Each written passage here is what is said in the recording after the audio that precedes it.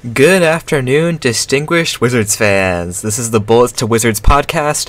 I'm your host, Sully Hawk, and let's just let the cat out of the bag right now. It's the big news we all woke up to this morning. At around 8 a.m., we got tweets from Woj, Shams, Bleacher Report, ESPN, all the big outlets. Coach Wes Unseld Jr. of the Washington Wizards has been fired. Well, not really, kind of. Some people are saying it's a promotion, some people are just saying he's sticking around because of nepotism. It's kind of hard to tell what his new advisory role is. If if the the team is just keeping him around just because they don't want to have dead money to a fired coach, or whether they want to keep him around for because of his last name, or whether they actually view him as a good front office mind, it's kind of hard to tell at this point. But he, nonetheless, the important thing is what the majority of the fan base has wanted, what any, any expert analysis c- can tell. Coach Wes, his lack of adjustments, at times his lack of seemingly his, his ability to command the team's respect was struggled a lot at times, and it was evident in the last few seasons he needed to go, and especially after the season start, um, starting you know seven and thirty six, like it, has it, been long. I think this this podcast is very new, but every episode we've been calling for Coach Wes to um, hit the bag. So um, let's cue that intro music, and then we'll do some more celebratory conversations.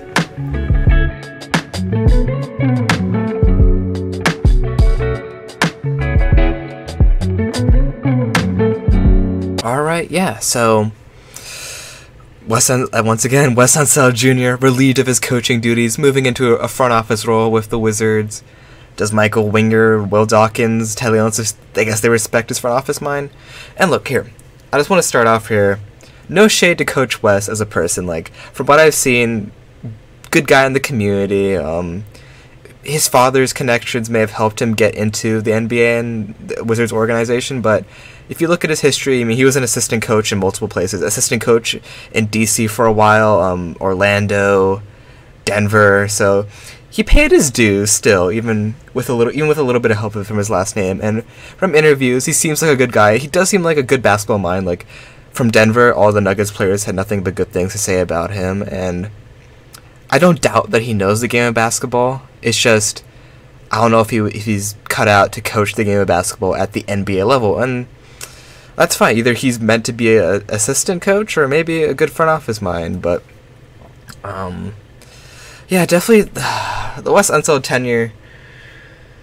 What a, what a roller coaster! I remember when he first got hired a few years ago. Um, back in, after Scott Brooks got fired in 22 for the 2021-22 season.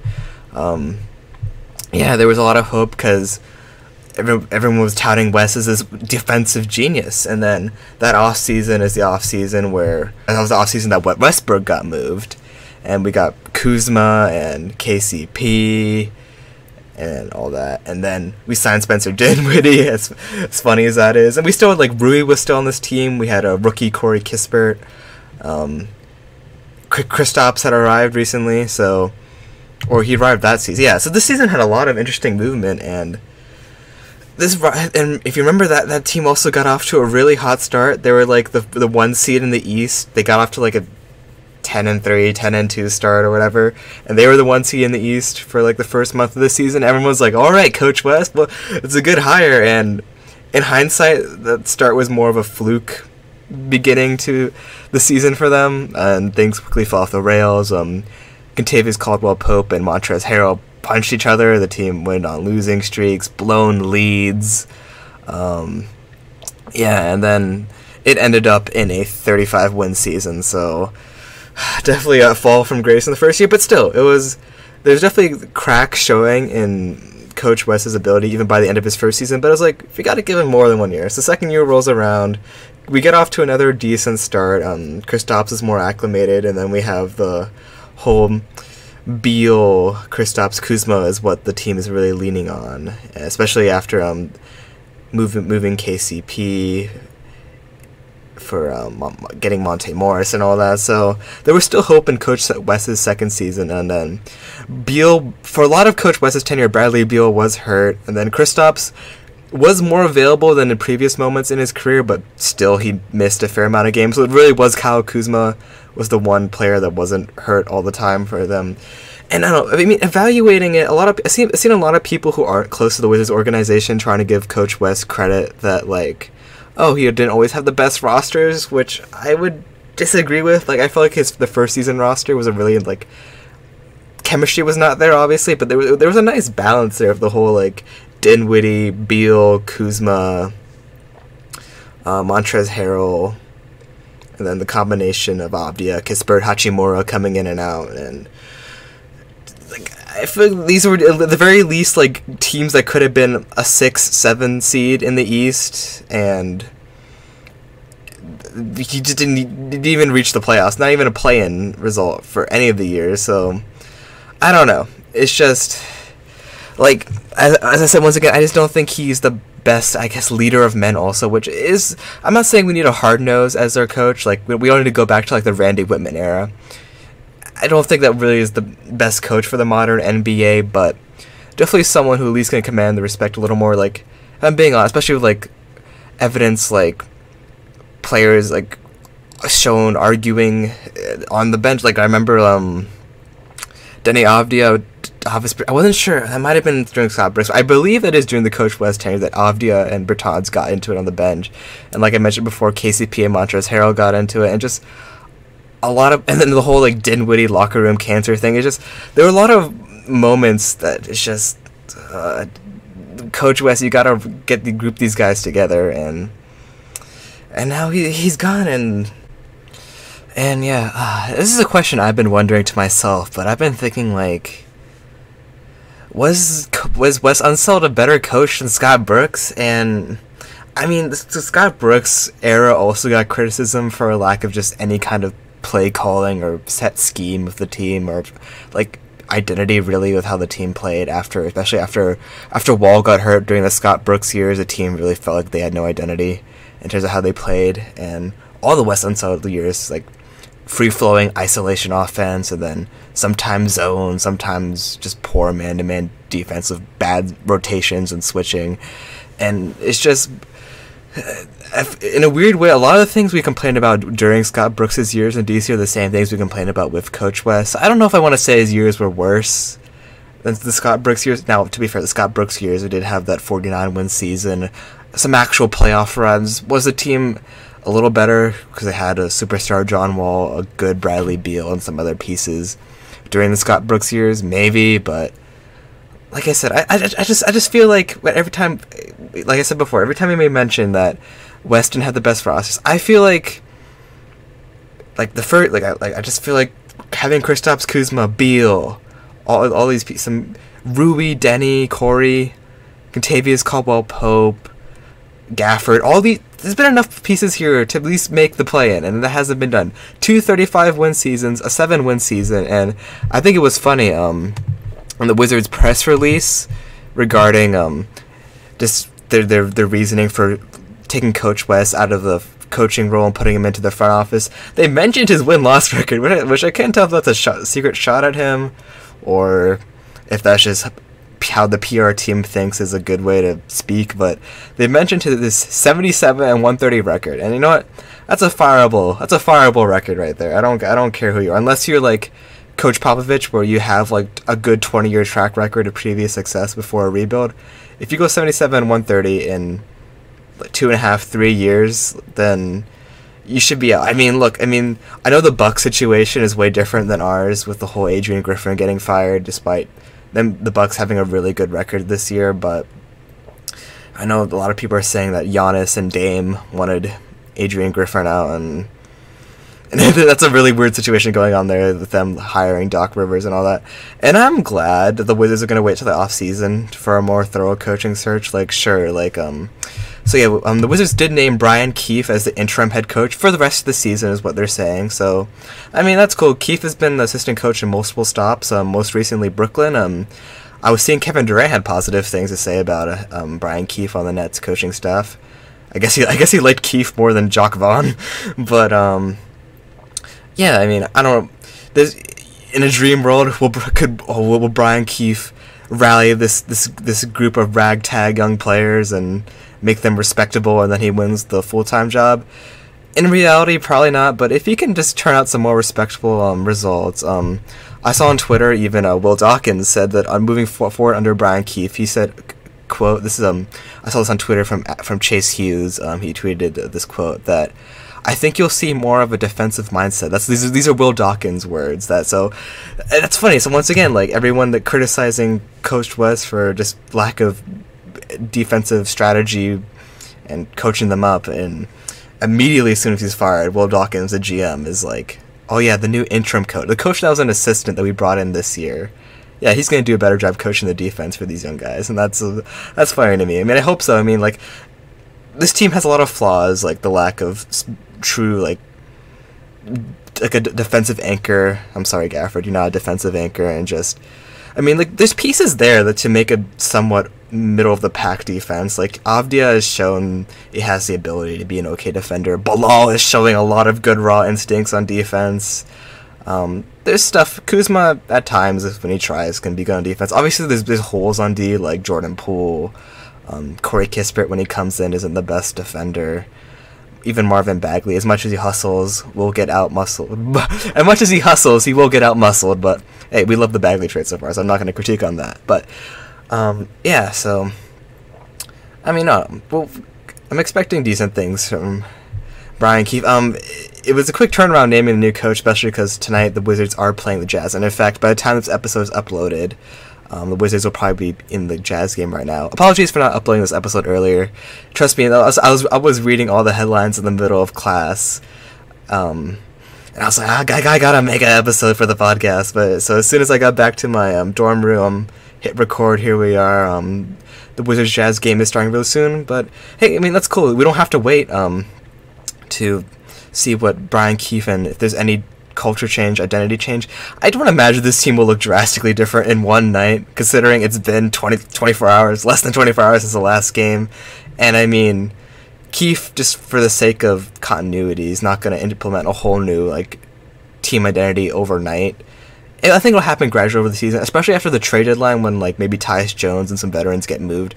I think you'll definitely then see a change in how this team plays, but at least for now, it's probably going to be a similar team, especially because Keefe was working with Coach Wes um, over the, this this season. And I don't know. Another interesting point I've seen brought up in Wizards circles and just Wizards gossip, I guess, is that was is Brian Keefe secretly handpicked by like Dawkins and Winger to be like this whole time they're like, yeah, we're gonna fire Coach Wes in the middle of the season or something like just because he is one of the few like new assistant coaches that were brought in after Dawkins and Winger came in, and and it is interesting that co- that Wes Unseld did stay after the new GM and president were brought in, just because usually when a, owner fires the GM and president of the team, they usually also fire the coach just for a whole new clean slate of the regime. But no, it's like the coach from the old regime and then a brand new general manager and president is like it was kind of confusing, but I guess they didn't last long. So I still think in the off season that yeah, like I said before, they're gonna. Who will it be? We'll have to see what the coaching free agent pool is by then, but um, definitely in a future episode, definitely way later on the season, maybe once once this team is settled into an inevitable 15 win end or something like then we could we'll definitely do an episode of coaching candidates once it becomes clear who's available in the off season but for now we'll ride out the we'll ride out the Brian Keefe half season era we're about to live through. Um, gotta love being a tanking team. I mean, that's what we asked for for a while. We asked for Coach Wes being fired off for for, for, for, for ever since his first season. We've been asking for him to get fired, and um, we're we're slowly getting what we wanted. And I appreciate this team. Instead of waiting forever to get moves done, like they're being more proactive, which I, I, I do appreciate. Like once again, not to keep bringing up Wes's negatives, but I mean, we had that 35 point blown lead to the Clippers. We had um, back-to-back 20 point blown leads. If you remember, think last yeah last season, the first team NBA history to blow back-to-back 20 point leads and lose in back-to-back games. And it's just and that's especially evident. Like this team often comes out flat in the second half statistically and just by the eye test. And then also, yeah, all the blown leads this team goes through. Even this season, remember um, that 16 point fourth quarter blown Raptors lead. and it's just it's uh, it's evident coach Coach Wes, former Coach Wes, I can't keep calling him Coach, Wes, former Coach Wes, Coach Wes Unseld Jr. Um, he gets outcoached by most coaches in the league. Like, if you look at any coaching rankings, he's either like ranked 29th or 30th, and yeah, I mean, I wish him the best. If he becomes some kind of front office assistant in the future, that's great. But if he's also disappears and becomes an assistant coach in the future for another team, I think that's perfectly fine for him. Like I said, decent enough guy, but this team is moving forward slowly but surely. Everything from the the, the whole mediocrity, the whole that whole stench of just doing everything we can to be the eighth seed. That whole stench is leaving the team. We're finally getting in. This, the whole point of this rebuild is that by the end of it, in three four years, we'll be a true like top four team in the East, and it's gonna take patience. But steps like getting rid of a middling coach is a good step. So um, yeah, um, Speaking of the new era, I mean, might as well let's, look at to, tour tonight. Um, quick preview of the Jazz games as, as it's happening right now. So yeah, the Utah Jazz are currently 22 and 23. Um, currently the 10 seed in the West, so just hanging on to a play-in spot. Kind of in a similar position to last year. But last year they got off to a really good start, and then once they, they traded a lot of their assets away, even more assets away after the trade deadline, that's when they fell out of the play-in picture. But this year, once again, um, looking like a solid play and contending team. Um, I would definitely say they're playing above what you you would you would expect of them. Um, Will Hardy, coach of the Jazz, that's a good coach right there. I would love a Will Hardy type in DC next year if you can find someone like him. But yeah, that that team is coached well. Um, lo- like a lot of hustle. Like obviously you they, they have Collin Sexton, Lauri Markkanen is awesome, and um, even John Collins. I don't think has been getting enough credit as a fairly like sneaky like nice p- player for the Jazz this year. I mean, he's definitely had his colder moments, especially when the Jazz have been on. The Jazz team has been a bit streaky this year. Like from January here, from January um, 6th to 15th, they went on a six game win streak. And then from their last three games after that six game win streak, they've lost three in a row, with especially um, on Tuesday against the Pelicans. They lost 153 to 124. So yeah, but um, I mean, there's a couple things with, with, with, the Jazz's struggles this year. I feel like Walker Kessler hasn't developed as much as the Jazz hoped in his second year. Like after his rookie year, it's like, oh, and maybe in four or five years, Walker Kessler could be a Defensive Player of the Year candidate. Like awesome shot blocking ability and all that, can somewhat finish around the rim, but um, that hasn't come to fruition. He still has time, but the development of Kessler has been a little disappointing. Keyonte George has been really nice. Um, if you look at all the rookie ladders, he's starting to um, even surpass Bilal in the, like a lot of the rookie rankings, which I don't like. I still think, as as a Wizard stan, I think all hail Bilal. I think Bilal is still better than Keyonte George, but, but Keyonte George is having a nice rookie season, and yeah, which just like with the type of young team they are. Um, I mean, they have like they have some veterans, like like I said, like a Jordan Clarkson, Lauri Markkanen that are really nice pieces. And will they get moved to the deadline? I don't think. I think Lauri's going to stay around just he's under contract for a bit. Clarkson could get moved, but um, yeah, with, with, the overall amount of young players they have, all the um, the random like Simone Fontecchios and Ochai Agbajis and all the Kris Dunns of the world, all the let's, let's not even get on how the Wizards should have um, capitalized on having Kris Dunn in our G League system last year, but. Um, yeah, they're definitely gonna be a streaky team, but they're a streaky team that's competitive, unlike us, where we're, we're a, a bad team that's just bad. So, yeah, I, I, as much hope as I, as much as as funny as I think it would be, honestly, to have the Wizards win their first game in the Brian Keefe era. Um, most likely it will be a loss.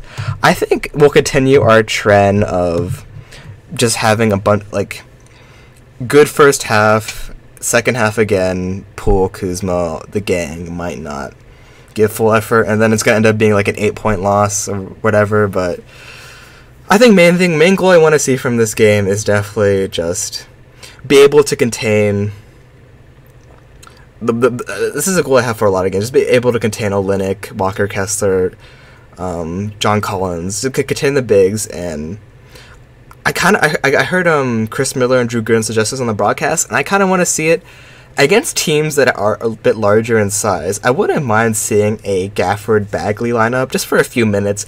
I'm not saying I'm not saying make that the starting lineup immediately, but I think Kuz at the three, Bagley at the four, Gafford at the five, and then let's just say it, it, becomes a real question. Obviously, I'll, I'll keep Tyus at the one until he gets traded, but then at the two, would you put?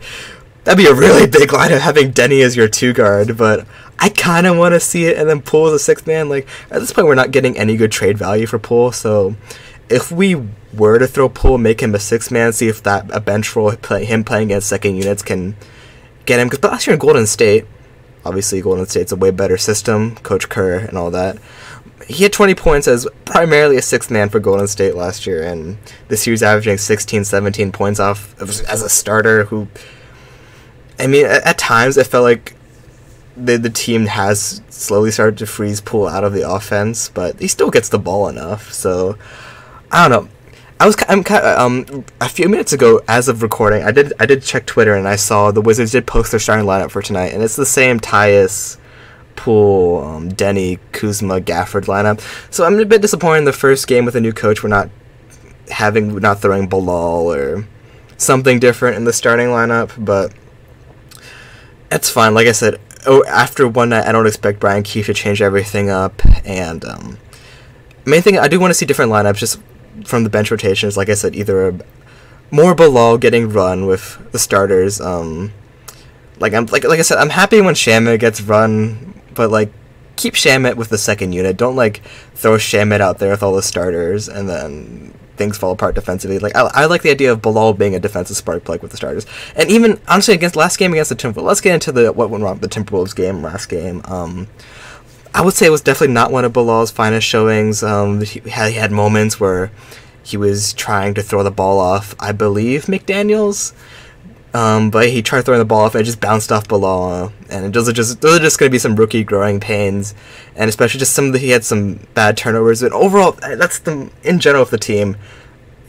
Coach Wes's former, let's say it again, former Coach Wes Unseld Junior, Junior's last game. Um, I mean, once again, the team had a actually I think I had a pretty good first half. Like they had had a six point lead at one point. They remained competitive.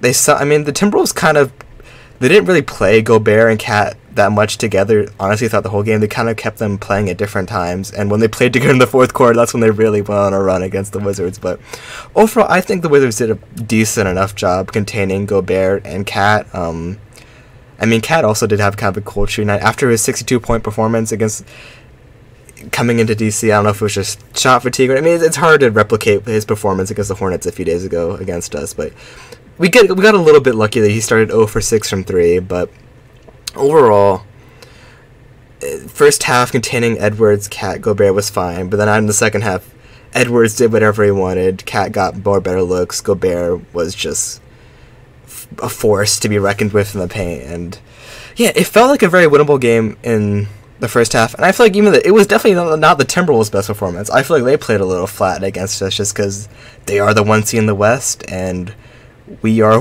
one of the we're the second worst team record wise right now, and yeah, it's just turnovers killed us. We played like a sloppy team. Like it, it, the game was within reach because the Timberwolves didn't play their best game, but then we didn't play our best game. So it's like, what the heck? Like, if we at least put up an effort, I honestly think it could have been a game that went down to the wire, just because the Timberwolves were still reeling after losing to the Hornets, and I think we had an opportunity to get a weird win against the one seed in the West, but it is what it is. This team, some of the vets are just not going to. A lot of the vets that know, that know they're going to be gone this season or next season are just a little bit checked out, and it is what it is. But uh, th- that lack of effort may be something Brian Keefe can bring in. We'll see. But like the Timberwolves game, first half a little bit excited, but overall been, it was a lot of the same script that we've been seeing throughout throughout the season. And I mean, okay, I'll give one positive Got to give props to Deni Avdija for um, this season overall. Definitely, the first few years of Deni's career, one of the most frustrating things with him has been his poor shooting, and it, I would, it's I would, something that everyone has wanted him to improve on. And this season, he's shooting uh, like around thirty five percent from three, which is much better than like the twenties and thirty percent three point shooting he's had for a majority of his career. And last night he was on fire from three. Um, in total, he had 24 points, six rebounds, and six assists. And that's honestly the main development I've seen from Deni this year that has made me happy. Like, yeah, I'm happy to see him shoot a little better from three, but honestly, it's the playmaking. Because I remember when he got drafted. Okay, I think the Luka Doncic comparisons are really dumb with Deni. Like, they are not the same player. Deni is not.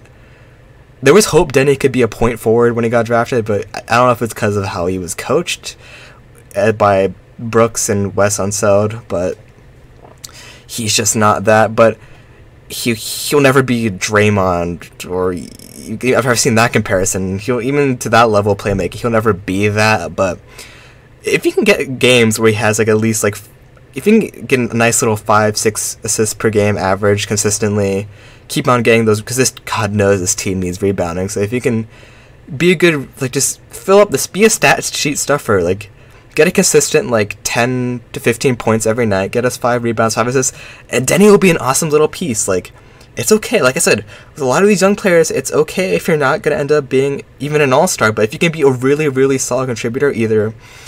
Like, Deni's on a really good contract right now, so that makes me a little more patient with him, but it's just, if, if you can just be, like, know your role and do your role really well, like, I wouldn't mind. Like, obviously, I want Bilal to be a superstar, but then some of these other players who the verdict may be out on them that Deni's not going to be a superstar. That's fine.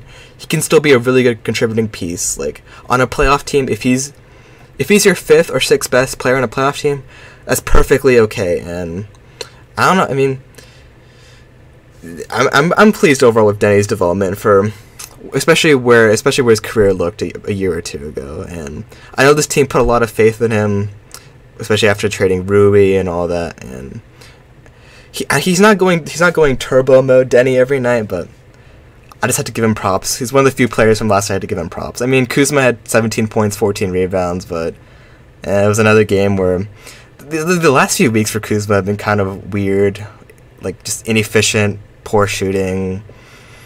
I don't know. I mean, a lot of the rumors also are that Kuzma, the Wizards have a very high asking price for Kuzma, and teams are calling about Kuzma naturally, but the Wizards are not budging on their asking price, which is probably at least two first round picks and some good young players. So it might not be till another year that Kuzma gets moved, which is fine. I guess we just have to deal with a whole year of Kuzma not getting full effort.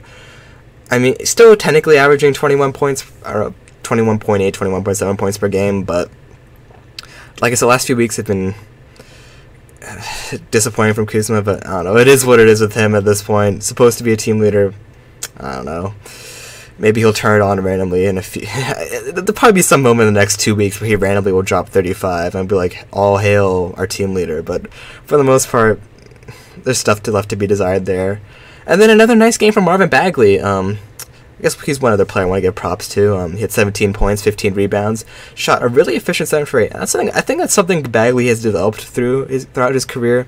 When he first came into the league, um, obviously a young player looking for his looks and all that, and as as his career's progressed, he's kind of shot less three pointers per game. Like have, he's not really like he can be a stretch big. He's definitely more of a stretch big than Gafford, but he does not. He's still not really looking to shoot threes but he provides floor spacing. That's enough. But I appreciate that he's not taking any dumb shots. Like he went seven for eight because he was taking smart shots by the rim, a lot of um, offensive rebounds and just good positioning, even against it, like intimidating defenders like Gobert, Naz Reid, Karl-Anthony Towns. Like he was taking smart shots, and I appreciated that from Bagley. And and uh, honestly, he's traditionally been a de- fine free throw shooter. I don't know what's happened since the trade. He's been really, really bad. His first game, he had like that 0 for 6 from the free throw line, and then this game, he missed a lot of free throws. He could have had his, his third 20 and 10 game with the Wizards if he just could have knocked down some free throws. So that was a little bit funky, but overall, like I said, still really happy with Bagley. And I mean, beyond that, Kispert. I know Raj isn't here. Um, yeah, uh, but uh, my co-host Raj is not here. I know he won't be happy with me saying this, but it was another disappointing game from Corey Kispert. So yeah, and then it's just on the bench, Poole, horrendous game. Um, like I said, not not not Bilal's best showing. Gafford had gone into foul trouble, and uh, it, it was nice to see at least when Gafford got into foul trouble, this team didn't immediately fall apart. Like in the past, if you had to put Muscala in this team would have fallen apart defensively. With Bagley, at least this around the same level of eh, defense was maintained, so that was nice. But um, yeah, I mean, I guess there's positive. There, there, there, I would say there's one or two more positives from that game, Wes Unseld's last game, that could carry over with some better coaching. Like I, I think, yeah, that game, the last game, was a result of bad coaching. I don't think necessarily the Timberwolves' loss was anything in particular as a reason why Wes Unseld got fired, but um, yeah, it's just it was another game of evident bad coaching with that second half performance, and hey, now we got a new coach, and all the best of luck to Brian Keefe tonight with the and the, for the Wizards and the against the Jazz. Hoping for, I know it's gonna. There's no game I'm confident we will win against, even after, especially if that Pistons loss. There's there's no game I'm confident that we'll win, but at least let's keep on seeing good um some new lineups. That's the main thing I want to see tonight. Um, productivity, a bounce back game from below. I want to see Deni continue his good shooting. I want to see Kuzma just be efficient, Poole, just show me any signs of life. But um, yeah, we'll see. And like I said, best of luck for the, for the half season of Brian Kiefer about to get. And yeah, like I appreciate this team being a little patient with the coaching search. Like there'll definitely be a lot more prosperous um, coaching availability in the offseason. Like last year, like the Hawks tried the mid-season edition of Quin Snyder. I, I really like Quin Snyder as a coach, but it just has not worked out in Atlanta for whatever reason. And then um, this season, I mean, now the Bucks hiring Doc Rivers in the middle of the year. We'll see how that goes. I mean, really weird coach situation over coaching situation over there in Milwaukee, but yeah, like I appreciate we didn't just randomly hire like let's say who's available right now. Let's Mark Jackson making him come leave come out of his temporary coaching leave and making him coach the Wizards or like a Terry Stotts or something weird like that. Like I appreciate we're we're gonna wait either hire maybe some really good assistant coach from a competitive team, a team with that goes on one maybe one of the teams that makes the conference finals or the finals this year. We can poach an assistant coach from them. I don't see this team going the college coach route. Um, honestly, I, with, with this new regime, I don't even see them going with the like there, there aren't any coaches on the hot seat right now from other teams that could be let go that I would want necessarily. Like I know Jason Kidd on the Mavs is on the hot seat, but I do not want Jason Kidd as our coach. Both ethically, him as a person, but then also just all the Mavs issues they had. Like they had a really devastating loss to the Suns last night. It's just, yeah, there's not any coaches that could become available that are currently coaching that one. So I'd appreciate that the Wizards will take their time and really see what some of the more fresher, younger names in the coaching market could be. So, yeah, um, this is another small chapter in what's hopefully more good moves in the Dawkins Winger era. But yeah. So yeah, thank you guys again for celebrating with me the end of the Wes Unseld Jr. era. It's a long rebuild, but we're gonna we're gonna make it through. Um, yeah, so next episode will, will be probably this weekend Jazz game recap, um, and then my co-host Raj may or may not be back. Um, when Raj does get back, we'll 100% do a, a trade deadline preview special. Um, like I said, just four or five mock trades that we really like that we've seen that are popular, or even ones that are a bit more under the radar that we've created. But um,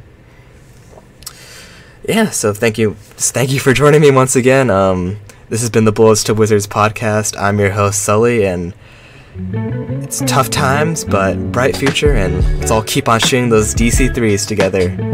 All right, love y'all. Stay fresh.